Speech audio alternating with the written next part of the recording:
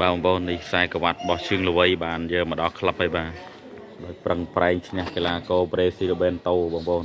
លទ្ធផលមួយនេះគឺមិនងាយស្រួលទេបងប្អូនអើយបាទសូមកុំជេរកុំស្ដីបន្ទោសសាច់ស្រស់ឈាមស្រស់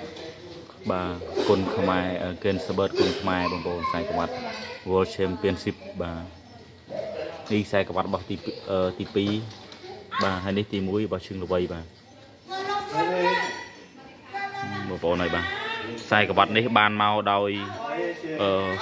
ឈាមស្រស់សាច់ស្រស់បងប្អូនបាទបងប្អូនប្រកាសជាបានទស្សនាហើយបាទវីដេអូការប្រកួតរបស់ជើងល្វីនិងកីឡាករបេនតូបាទមាញ់មាញ់នេះបងប្អូនបាទហឹមដល់ហើយហើយនេះខ្សែក្រវ៉ាត់របស់ច័ន្ទប៊ុនហ៊ឿនបងប្អូនបាទទើបតែទទួលបានអឺថ្មីថ្មីពីអឺក្លឹប KKS បាទនៅក្នុងកម្មវិធី Cambodia គុណខ្មែរ KKS បាទបងប្អូនណាបាទ ខ្សែក្រវ៉ាត់នេះជឿនល្វីចត់បាយបងប្អូនបាទមិនងាយទេប៉ះបេនតូបាទ